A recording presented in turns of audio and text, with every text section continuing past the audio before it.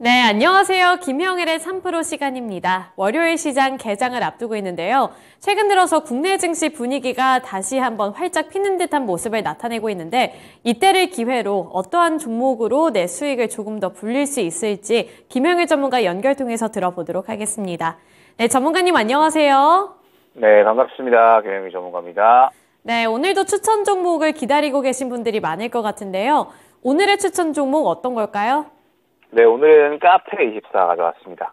네, 카페24를 들고 와주셨는데 제가 알기로 이 글로벌 플랫폼들과 함께 협력을 하고 있다라고 알고 있거든요. 뭐 틱톡이라든지 인스타, 유튜브 이런 협력도 많이 하는 걸로 알고 있고 어, 주가도 최근 들어서 이 박스권 안에서 움직이기는 합니다만 이제 바닥을 또 딛고 다시 한번 올라주는 모습이 나타나고 있는데 자세한 투자 포인트 어떻게 잡아볼까요? 네, 말씀 주셨던 것처럼 카페24가 글로벌적으로 상당히 유명한 플랫폼 기업들과 협력 관계를 계속해서 확대시켜 나가고 있는 그런 상황입니다.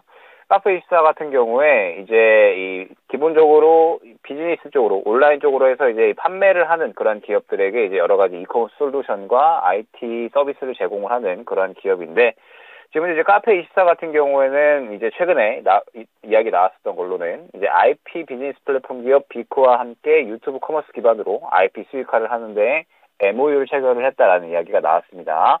최근에 이제 이 IP에 대한 이 수익성이 계속해서 이제 뛰어오르고 있는 그런 상황이기 때문에 이런 상황에서 유튜브 커머스를 기반으로 해서 IP를 또 수익할 수 있는 이런 이제 협력을 체결을 했다라는 부분은 앞으로 성장성에 대한 기대감이 차오르는 부분이다라고 볼 수가 있을 것 같고 그러면서 이제 말씀드렸던 것처럼 유튜브나 인스타, 틱톡 등등 해서 유명 플랫폼 협과 계속해서 이제 이 협력 서비스를 제공을 하고 또 넓혀 나가고 있는 그런 구간에 있기 때문에 이제 이러한 부분들이 점차적으로 실적에 어느 정도 가시화되는 구간에 있는 것 같습니다.